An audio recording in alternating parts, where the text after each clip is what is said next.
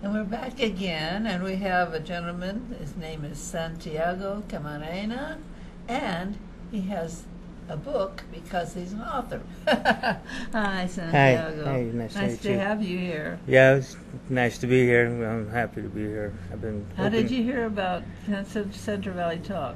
I uh, my sister had told me about it a while back, Oh. and uh, I was always thinking of I should get on this show if it was possible, and I seen a, an opportunity over on Facebook actually, and so I called them up, and they said, yeah. Well, I emailed, and then they said, yeah, give us your information. That'd be fabulous. So I'm so, here. I'm so glad you're here, and you're an author. Yes. And when did you ever first start thinking about writing? It's been a while back that I was wanting to write. I uh, uh, had started telling people, you know, that I was going to be an author. You know, I just started telling people, and uh, uh, I, one point after, uh, while I was here in Fresno, that I got proposition to do a book. Wow. And so I said yes, and uh, my work uh, took me to New Mexico because Wow. the story is is on a New- uh, New Mexico native, Mm.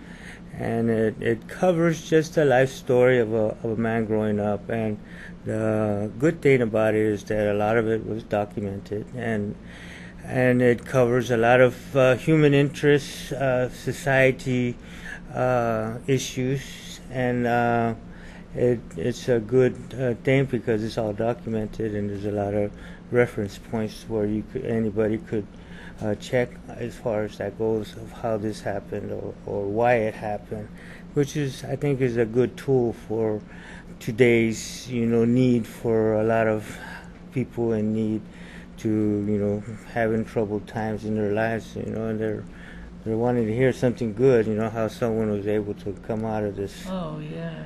and uh, but uh, uh, the story is on his life and covers his loss of his father early on, and then the issues with the single parent, and his exposure to uh, uh, law enforcement and incarceration. And uh, the two main topics on the book is that uh, it covers the 1980 Santa Fe prison riot Ooh. which today is still the most brutal prison riot in Oh, America's history.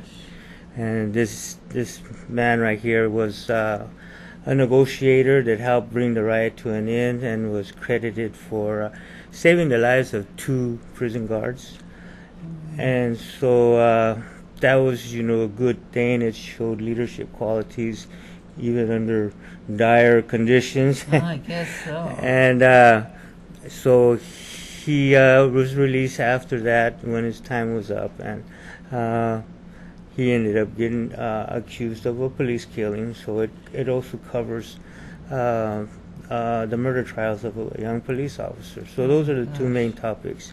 You know, Uh, and what is his name? the the person's name is uh, Vincent Candelaria.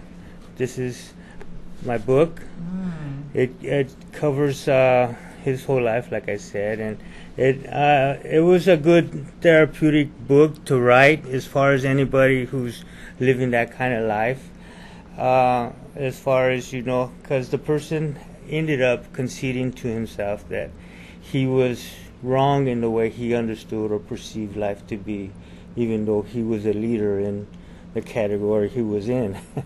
and so, uh, Wow. uh, for someone like that to do, to be able to admit to himself that is, is a life changing thing, and you know, Oh, gosh, yes. he was able to uh, endure a lot of hardships in there where a lot of men wouldn't be able to endure as far as like five years of uh, solitary confinement which would be like in a hole a Mm. dark room with nothing Yeah, gosh. and uh, it's actually outlawed that kind of treatment for uh, prisoners now, uh, in today's age Oh, really did? I didn't know that.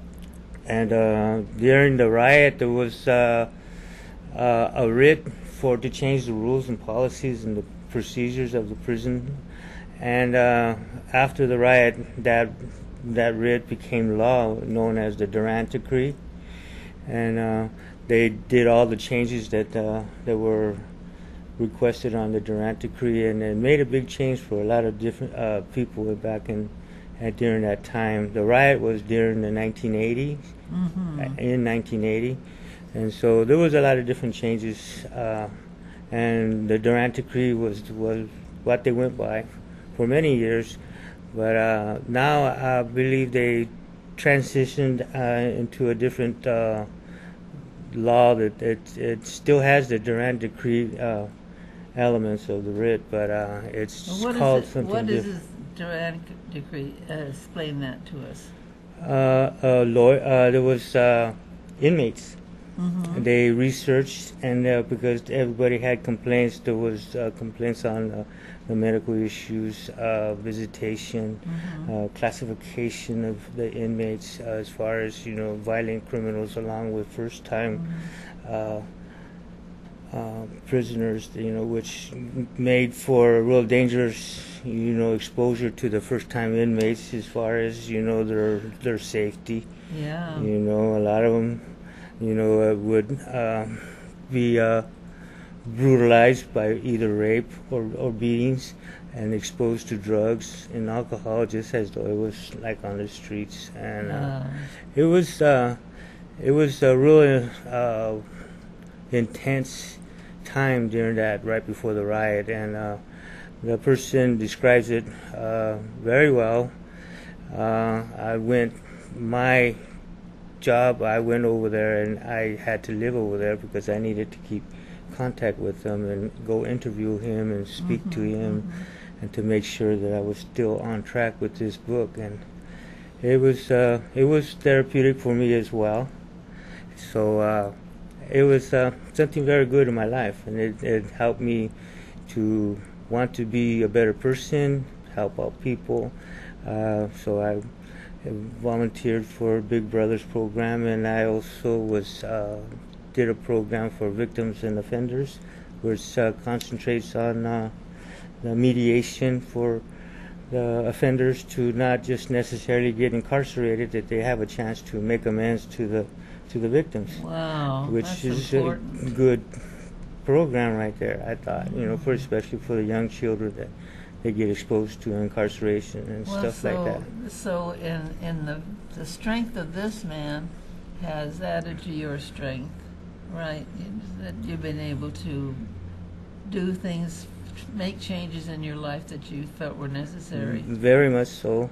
Uh, it's it's his story, and but I believe it's the story of many people all across America today. Oh, and for sure. and uh, and they might not have the extremities that he was exposed to, but uh, it's the same story, just the same. And uh, to understand yourself better and be able to know that you're going to get through whatever hardship that you're going through uh, is a good thing to know. It gives you Oh, strength. That's for sure, and I, I think it's just so important that people start un- trying to understand other people, and if they don't like what they're doing, just to say, you know, it's none of my business. They're doing the best they can.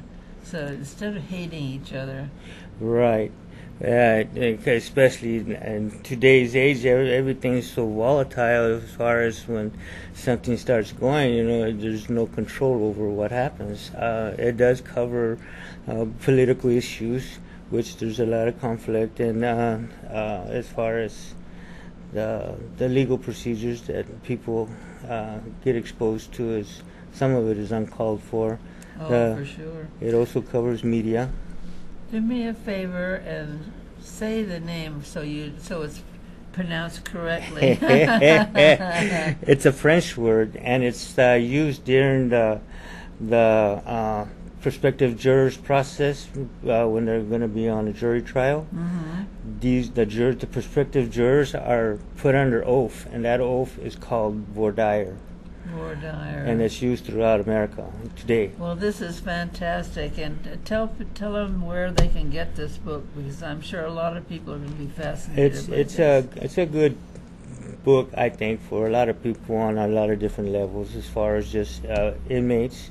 Yeah. uh, for therapeutic, uh, far as uh, lawyers for procedure Oh, and yeah. policies, for uh, uh, law enforcement, for different uh, pers- uh, getting a different perspective from the other side. and for uh, it also covers uh, uh, judges' decisions and, and different uh, aspects of a court trial. It's what happens to Oh, people, and gosh. uh, it, it covers a lot of different issues. So, uh, but where you could get it at is uh, on any uh, uh, bookstore, actually, with the the ISBN number, as Mhm. which I submitted. Uh, I'm not sure if they have it up there on the screen, uh, or just go off of the the the book name is Voir Dire, V O I R D I R E. Uh, the authors, me, Santiago Camarena, uh, either one of those uh, ways of uh, telling the bookstore owner if he could look for that book, and you'd be able to order that. Oh, I think Oh. it's great, and I'm so great that you brought it in today. And listen, the next book is all right. Come on in again because uh, Yes. we want to really promote our our talented people here in this. Yes, valley. I sure will. I, Mm. Can I say one more thing? I forgot to give sure. my uh, my uh, web page for the yes, book. my the webpage. It uh, the web page for the book is actually voirdireseektruth.com. Seek and truth. and it has a page all for the book, and it tells everything about the book, and has the first chapter, so that you could. Oh, fantastic! that would be great. it has a Thank lot you of things. so much. All right, And you come in again, please. I will. Okay. Okay, thanks. We'll be right back.